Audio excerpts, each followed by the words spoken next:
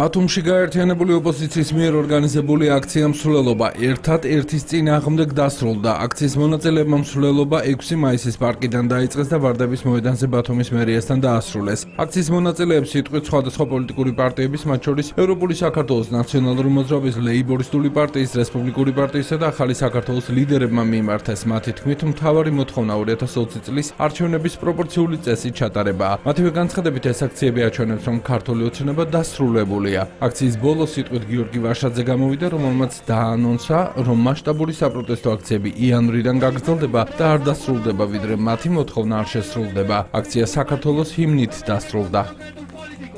იანვრიდან პირიქით იქნება უფრო ფართო მასშტაბიანი ჩვენი წინააღმდეგობის მოძრაობა, ეროვნულ წინააღმდეგობის მოძრაობაში გადავა, რომელიც მოედება ყველა ქალაქს, ყველა სოფელს, ყველა ოჯახს, ყველა ადამიანს აბსოლუტურად, იმიტომ რომ ყველა უნდა გავერთიანდეს.